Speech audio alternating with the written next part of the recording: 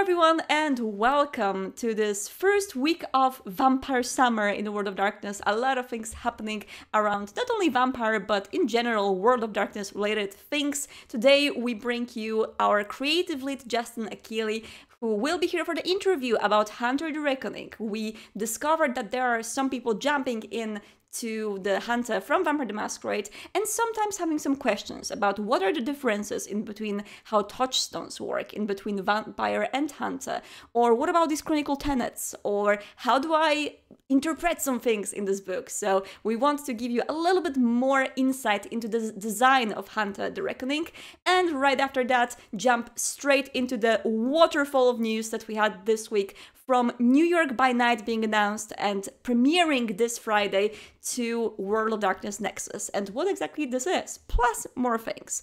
But before all that, let's welcome Justin Achilli. Let me see very quickly if he is awaiting me. Hello, hello, Justin. Hello. Great. Okay, you can hear me, I can hear you, and now everyone can see you as well. It's good to see you. How was your day? There's the cat back there. We can kind of blurry right now, but uh, he's hanging out with us too. we can see Uh, the yeah, cat so in the it's, it's been fog. a, a bit of a lumpy day. Um, I went to the doctor this morning. I had a flat tire on the way back, and uh, the spare was flat as well. So 30 minutes an exciting morning. 30 minutes ago we thought that this interview is not going to happen, but we made it work. Thank you so much, Justin, say, for the, being the here. fates were smiling upon us. yes. Thank you so much, Justin, for successful rolls today and for being able to join us uh, in time. So, uh, with that in mind, uh, Hunter, we did talk plenty about Hunter already, but it's always room to talk more, especially now that we've noticed that a lot of people are coming to Hunter from Vampire the Masquerade and sometimes having questions about how things are different and why exactly are they different. So, starting from the very beginning, what was the difference, you think, in the design premise for Hunter Reckoning after Vampire V5? Yeah, that's a good question, and um, this is something that we're actually watching uh, really intently because with the um, advent of the fifth edition of the World of Darkness games, um, it's really been a chance to kind of refocus. Um, the previous editions have been kind of accumulating lore for you know 30 years, and the fifth edition sort of uh, sets that aside. And if you want that, that's available in those legacy editions. But really, the focus of the fifth edition is on you know for vampire, it's the young vampires. Um, for hunter, it is not the hunters in the orgs; it's the kind of individual hunter um, kind of the, the way we talked about it uh, as we were doing uh, design meetings was like you're a plumber and you learn that the uh, house that you're fixing there's a vampire in it right? You're not this super high powered hunter you know with uh, awesome equipment et cetera et cetera. You can get that through edges and stuff but for the Mhm. most part the hunter is a kind of just clued in person who suddenly realizes the supernatural is true and now um, the focus is you have to do a lot with a little um, and so the systems kind of reinforce that there um, kind of eh, to answer your question uh, more directly, we Mhm. do reuse some of the kind of system categories from Vampire, and this is something that I think you're going to see going forward with the other games as well. Um, so things like convictions, right? Um, convictions are very in Vampire tied to your humanity. Uh, but hunters don't have humanity. They're not pretending they're human, so we don't have a stat that tracks that. Uh, By contrast, you look at touchstones, and hunters still have touchstones because touchstones are the people who are important to you. You know, they're almost why you hunt, or they give context to your drive. Um, and so they don't work the exact same way they do for vampires. Uh, but we did want to kind of use that already in place system or parts of it um, to reinforce that you know vampires have people who keep them grounded um, and keep them in touch with their humanity, um, whereas hunters have people who keep them in touch with why they hunt. You know, the people they're trying to protect from this awful, awful world full of supernatural taint. Mhm. Um, and I mean, I'm uh, in another tab right now. I've got you know parts of Werewolf open, and you know werewolves will have touchstones too, and they will be the people who uh, still are important to them. I don't want to promise this, but one of the things we're exploring is maybe you can have a place as a touchstone as a werewolf, uh, because you know you want to kind of prevent the despoilment of the world. Again, that's not a promise, but you can kind of see that we're using the systems um, in these different ways, uh, but in a larger kind of category that should be generally familiar. Um, so the player Yeah. Feedback here has been really valuable where you know players assumed oh it's got convictions or it's got touchstones. They work the same way. Well no they don't right? Everyone is going to get kind of a tweak to that sort of system uh, but we still want there to be a sense of um, you are kept in touch with the world through these people or places or whatever it might be that makes sense. And uh, of course, your answer already answers this partially, but just to be very direct and uh, like for it to make it easy to grasp for people who are jumping from vampire to hunter, why exactly do we not put convictions on the touchstones uh, for hunter? Uh, so Vampire has this really, really interesting, almost like tripartite piece of you've got your convictions, which are uh, the things you do to uh, justify uh, your actions, right? Uh, yes. they, are the things you tell yourself. Um, the touchstones are the people who keep you uh, kind of related to the world. If you don't have any touchstones, you're just this kind of disenfranchised monster doing awful, awful things. And then the chronicle tenets as well. And so in Vampire, all of those three form this really really tight ecology of you know if you do this you're going to risk your touchstone or you're going to lose a bit of your humanity. And we've actually even seen players use the chronicle tenets a little bit different. Some players use the chronicle tenets and expect they will be broken as well whereas for other troupes they're these kind of inviolate you know no the chronicle is about this. Yes. so that's vampire right? So moving over into hunter uh, one of the things that i think is fascinating there's this, this stuff that we've been discussing in the office um, it's called sober play is the phrase. Um, mm-hmm. Um, and this is something that uh, Karim shared. You know, this was kind of his perspective on it. And I, I really love the thought behind it that we really want players to have as much autonomy over their actions as possible. We want them to be making choices, especially in Hunter, and any systems that you put on top of that that steer you um, are kind of taking away your sober play. They're taking away you know oh i want to do this. Oh but i have a humanity of four so that means this instead. Hunters because they're not pretending to be human don't have humanity you know they they have all of the choices available to them as possible. They are probably the most sober play of all the World of Darkness creatures because, unlike vampires, they don't have a beast acting on them, and unlike werewolves, they're not you know consumed by rage, and unlike you know the other World of Darkness creatures, they don't have these kind of uh, supernatural forces kind of pulling them into this kind of archetype. Instead, hunters entirely have free will. Um, and so that's why the systems are much, much lighter in mm-hmm. Hunter for touchstones and for Chronicle tenets, and why convictions are absent. Um, basically, there to, to give you, hey, everything you do, you get the consequences for, and you're responsible for. Of course, and we do have a lot of questions about people wondering whether Hunter is also going to be on Storyteller's Vault, which, yes, we confirmed in the future, Hunter the Reckoning is going to be a part of the Storyteller's Vault, where it means that people will be able to write their own, um, like, uh, supplements for it as well. So, do you think that um, Hunter, basically, as it plays right now as a core book, is more of a sandbox where people can pick and choose things that they want to do and make their own best possible Hunter uh, experience, uh, while things like Storyteller's Vault can add, add, a little bit more mechanics, more like things to confine uh, people in a particular styles of coteries and I mean chronicles, right? Right, right. That's actually one of the strengths I see for the storyteller's vault is on my end, um, my job is not to tell the story. My job is not to be the auteur and say, here's what happens in the world of darkness.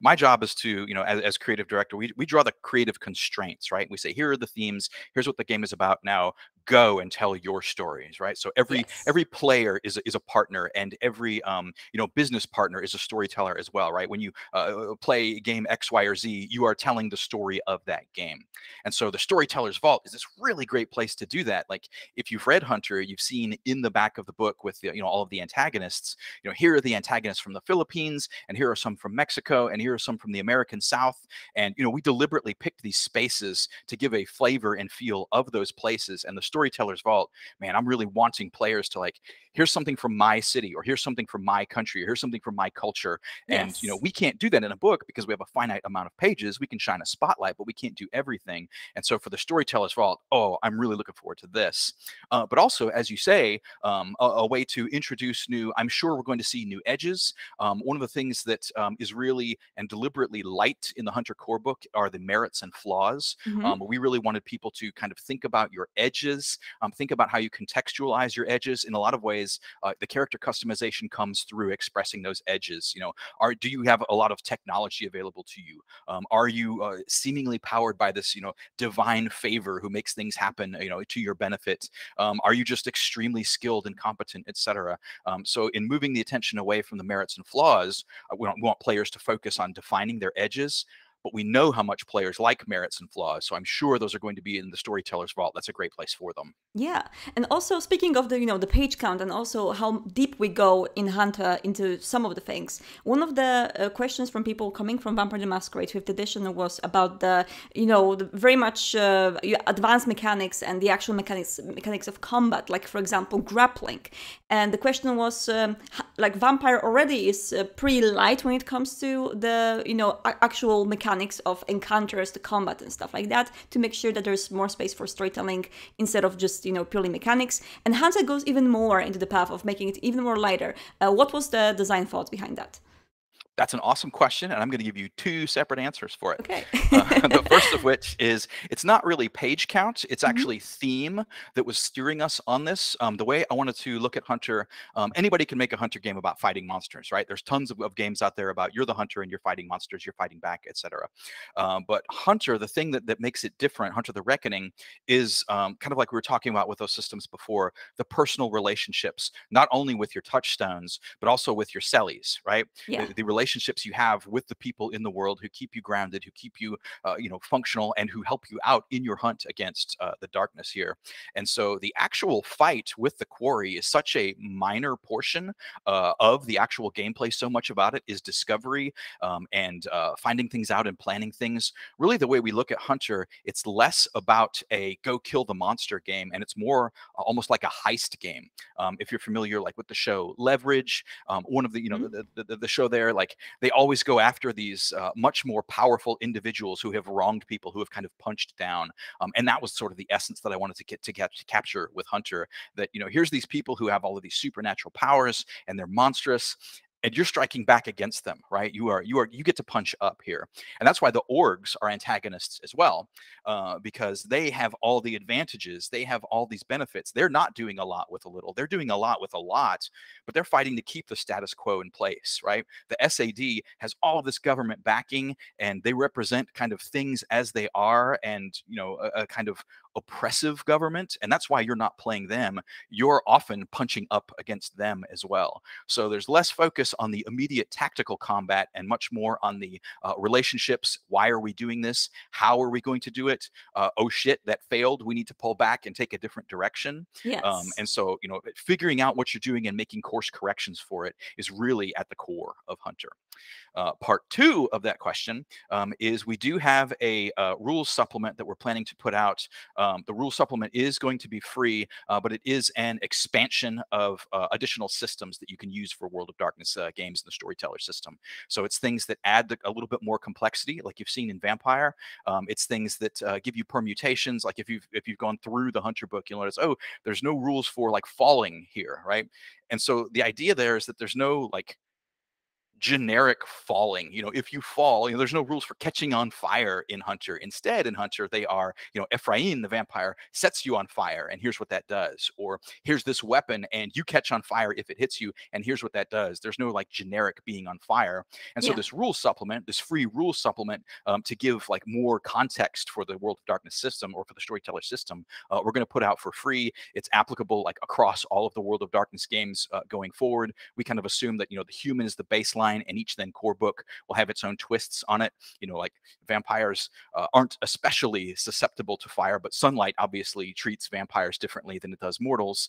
Um, you know, vampires fear fire, uh, but ultimately it does the same kind of aggravated damage to them that it does to mortals, etc. So you kind of get these, you know, twists and variations that make those rules their own in those rule books. Great. So you have a confirmation of the uh, basically uh, Storyteller supplement, which is going to be available for free, and it's going to be uh, like setting agnostic for all the World of Darkness settings, basically. So for Hunter, Vampire, Werewolf in the future.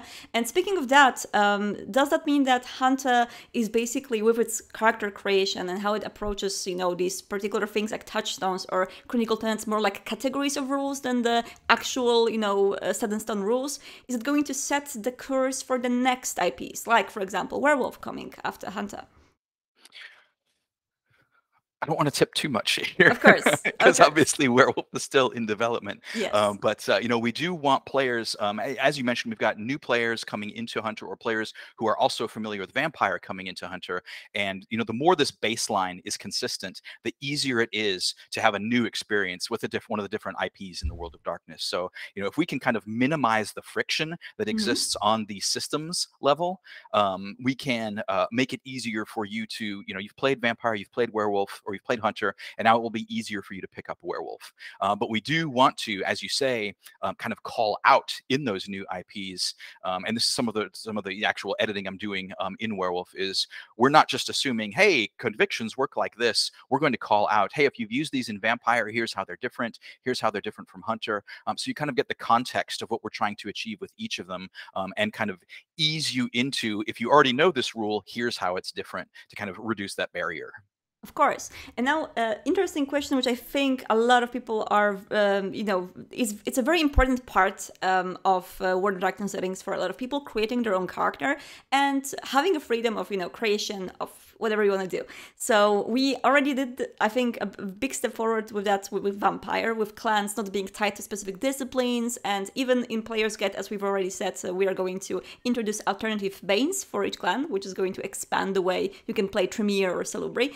And uh, with Hunter and the um, Creeds specifically, we do have uh, also a lot more freedom. One of the questions I've seen is, um, for example, with the Faithful uh, Creed, do we expect the Hunter with the Faithful Creed to be specifically into some kind of a religion, or can this be a faith in an object, a person? Like, uh, how's it interpreted also versus the true faith, which we know from Vampire?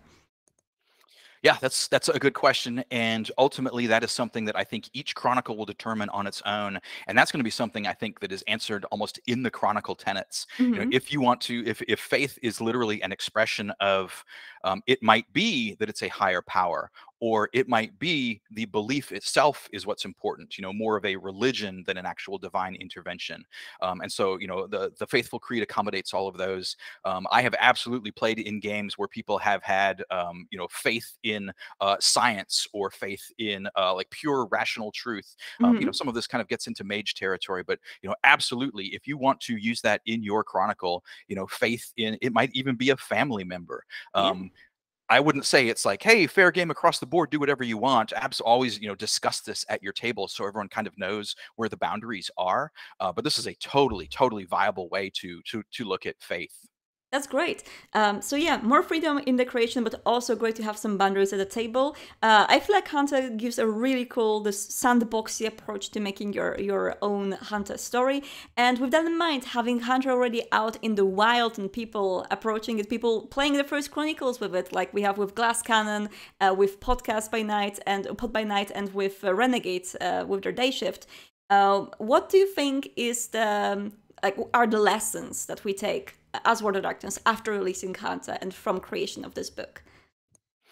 Yeah, one of the things that uh, I know we want, well, when we built the Hunter book, there's no starting chronicle in it. Uh, in Mhm. fact, that was one of the things that uh, I kind of had wanted people to do is to storytellers look at the um, antagonist chapter and grab one of those, and that becomes um, the uh, kind of starter chronicle. You know, here you've learned about this. The situation is going on, and you jump into that. And Hunter is very much focused on that, right? Like you're not going to take on the entire world of darkness at a time. You're going kind of piece by piece and uncovering these individual mysteries. And sometimes they overlap. Um, and sometimes, you know, here come the orgs while I'm trying to deal with this thing, and I've got these goddamn cops bearing down on me as well. Um, and you know, so that's an approach that Hunter specifically focuses on. Uh, but I know also, for example, that we have a lot of new people coming to the world of darkness, and uh, one of the things that they uh, really benefit from is a kind of onboarding experience. Mhm. So I'm literally having an email conversation in another tab right now uh, about um, we're going to have a starter chronicle or at least starter story in werewolf uh, because werewolf is a little more esoteric than hunter. You know hunter is there the mon- there's the monster go um, mm-hmm. whereas you know werewolf is you know you're a werewolf but you're also part spirit and you are defining your relationship with gaia. That's kind of how we're gonna i'm, I'm seeing we're gonna use convictions there is you define your relationship with gaia uh, mm-hmm. as opposed to having it preset. Um, but you know okay what do i do with this? How do i tell a story with this? And so we want there to be in the book uh, a kind of onboarding experience that helps you get a story up and running.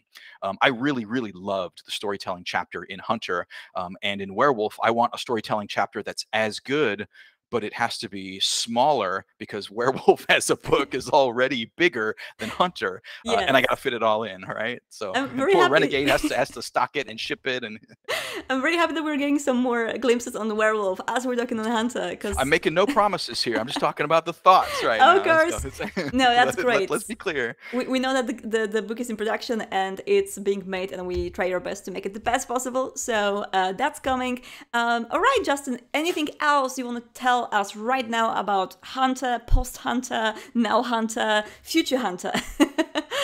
Uh, in one of my other tabs, oh, I have so many tabs open. Uh, I'm actually looking at the first uh, Hunter supplement um, that Renegade has done and submitted to us. We've already got the manuscript for that. Um, I won't spoil that. Um, I'll let them, uh, you know, kind of uh, manage their own uh, announcements there. Mm-hmm. Um, but there is supplement support for Hunter coming out. There is stuff in the pipeline. It looks good.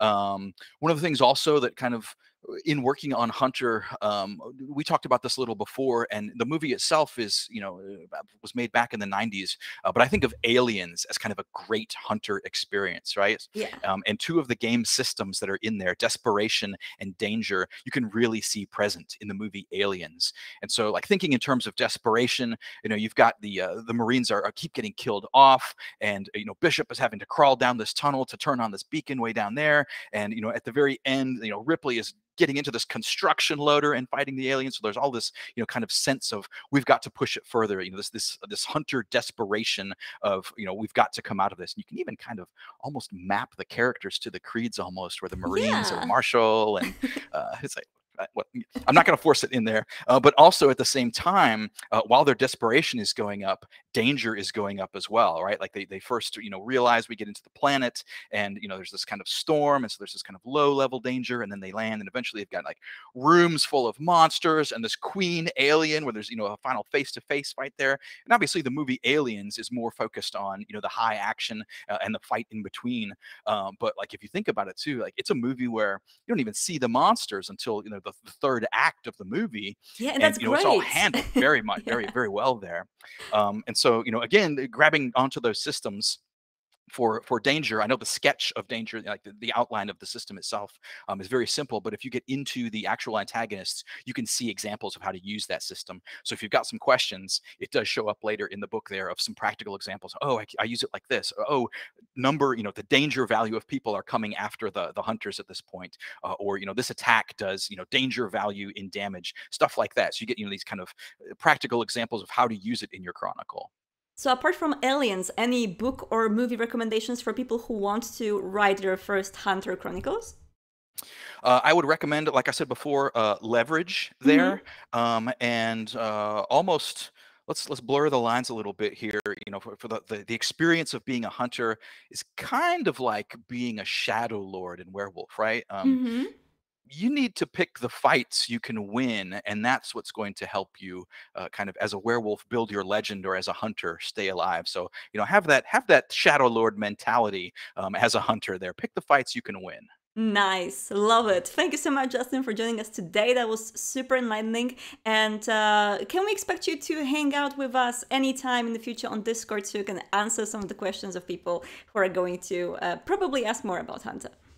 Yeah, I pop in and out of Discord, so feel free to ask questions there. Um, I get to them as I get to them. Uh, you know, obviously Discord is a is a fire hose. Um, so you know, when I see the questions, um, I try to answer them. Um, but uh, as you know, for the for the remainder of it, I'm still at work on you know getting more books out to people and uh, you know more uh, other stuff too, other games, other experiences for the World of Darkness. So uh, thanks to everyone for for being along on the ride with us on this. Perfect. Thank you so much, Justin, for joining, and I hope to see you here again because it's always a pleasure. thanks, Outstar. see, see ya. Bye.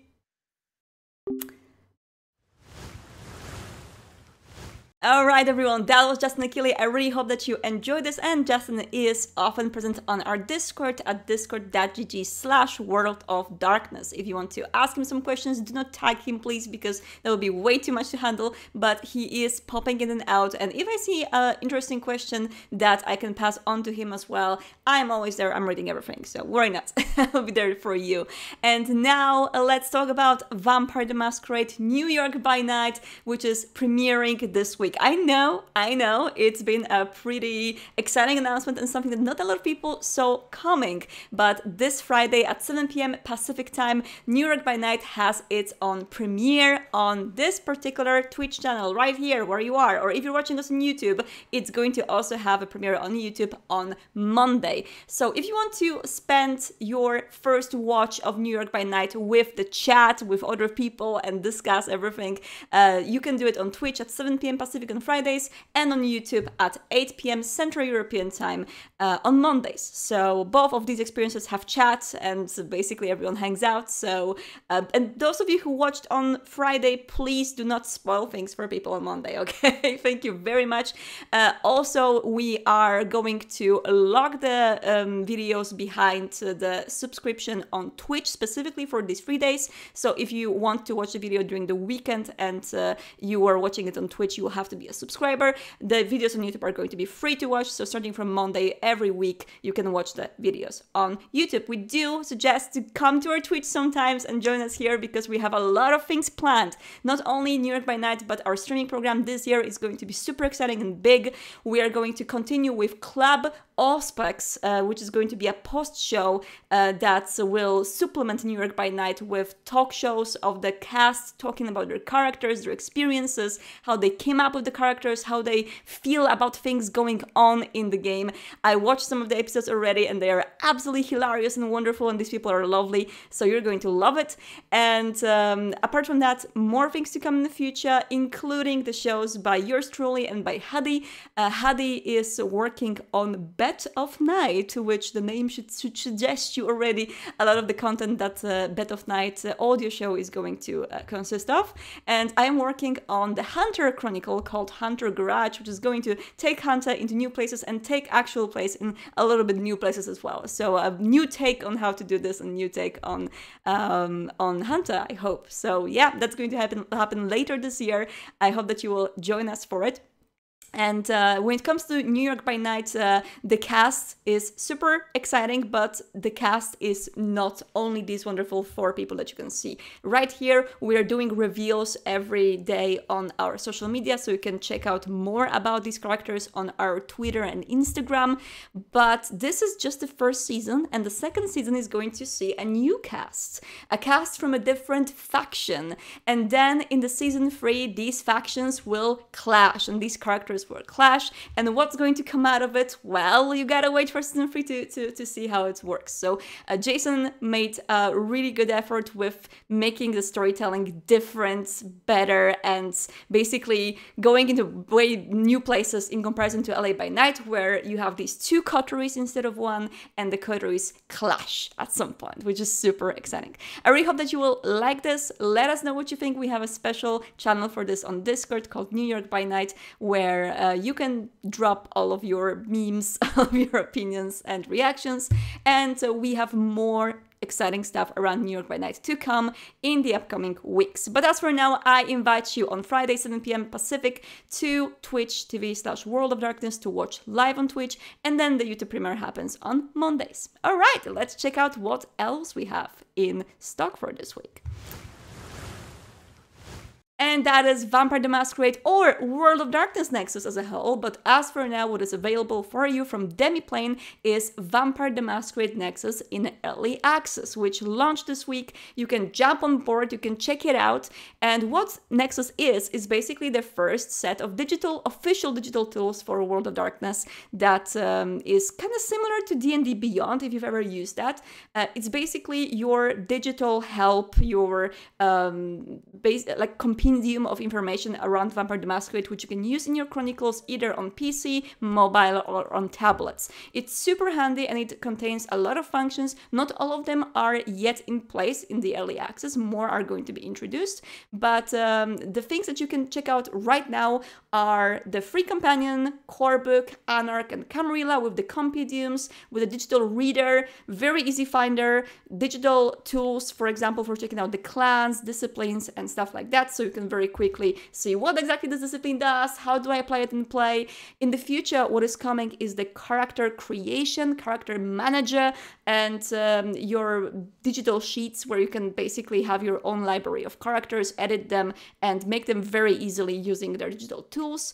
And what's more is that Nexus has its own uh, matchmaking system where you can not only find your uh, coteries to play with, but also if you are a professional storyteller, you can also organize paid games, you can get tips for storytelling, and there's a lot more functions in it. So this is your digital place to go and play Vampire the Masquerade with, with more options to come.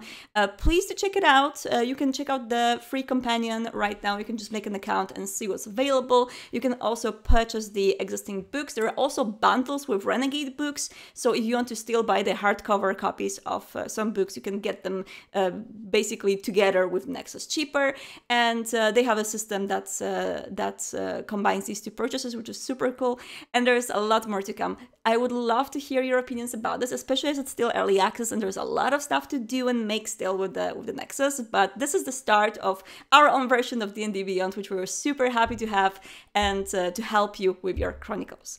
Um, there is um, FAQ with more details about uh, this on the Demiplane forums. You can check it out on worldofdarkness.com. There's a news post about Nexus, and there is the um, the, the, the, the, FAQ linked in there. I will be also opening a room, as for now at least, on discord.gg slash world of darkness, where you can basically talk about Demiplane and give us your feedback, because we would love to check it out. And Demiplane also has their own uh, forums and Discord and social media where you can uh, hang out and ask your questions. They are very quick to reply and very happy to listen to your feedback and uh, see what they can do. The FAQ already answers a lot of questions that I probably don't have the answers uh, for for you right now. So you can go check out the FAQ on the forums and see more info about this. I really hope that this is going to be a tool that will help you with your campaigns. So far, I've been using it a plenty in order to, you know, very quickly check out things that uh, I need when I'm role playing myself. And uh, I found it super handy. So if you do as well, I will be very happy. Please do let us know. We will be doing that uh, uh, feedback gathering on Discord as well. All right, let's check out what more we have for you and that is the New York bundle. Speaking of New York, Draw Distance has announced the New York bundle physical versions and collector's edition of the bundle of Coteries New York and Shadows of New York together. The collector's edition is super sexy, as you can see in here. It's a very small image, but you can see the full one on Funstock website. Uh, it has not only this really nice box, uh, two games in it. Um, basically, you can pick the the, the um, uh, console or the platform that you want to play it on. It's going to be available in different versions with the reversible art book as well as the USB stick with a super cute Camarilla Ankh or Vampire Ankh actually, and uh, it has the soundtrack on it with additional tracks. So if you're a soundtrack nerd as I am, it's something that's uh, I'm looking forward to the most when it comes to this uh, this bundle. And yeah, it's available for pre-order right now from Funstock, so you can check it out there. There are various versions. You can just get the physical version if you don't have the games yet, or the collector's version if you want to enhance your Vampire collection. We think that's beautiful, and thank you so much Draw Distance for organizing this. Uh, so many people are, you know, jumping on board still using Coteries or Shadows of New York, and we get a lot of praise for these novels. So thank you so much Draw Distance for bringing these stories to us because uh, you got us a lot of new vampire fans that jumped in thanks to you. It looks super, super cool. And speaking of vampire, if you are still looking for something to watch up until New York by Night launches and beyond, The Nightlife has season 2 that launched this week on Renegade channel. Story told by Diana D'Amico, it's a really cool uh, Vampire the Masquerade Chronicles set in Miami. So if you want to get to know more about these characters and this different take on the vampire story, I recommend to check on the Renegade Twitch. Besides of that, we do have a lot of really exciting things happening among the community. We don't have a family spotlight happening today because Hadi is on vacations, but I just really wanted to mention that there are some super cool Hunter Chronicles going on. I started listening to the Pod by Night Desperate Measures. Uh, they are the authors of The Stitch of Fate with Mathas as the storyteller. Really cool, and the first episode is great, so I recommend that. And on top of that, Glass Cannon has also launched their own Hunter campaign. You can check it out on the Glass Cannon network. So, yeah, if you want to listen to some Hunter, there is more choice. And of course, on Renegade channel, there is Day Shift, which has concluded its first season. And uh, I hope that you like it. We do have a special room on Discord to talk specifically about Renegade games if you want to check this out. In the meantime, thank you so much for watching us today. And I will be moving on to the um, FAQ that is available for our uh, watchers live. If you watch us live right now on uh, Twitch, then please do stay with us. Uh, we will have uh, more time for you to answer your questions. If you're watching us on YouTube, I'll see you on Monday in order to watch New York by Night together with you at 8 p.m. Central European Time. Thank you so much and goodbye.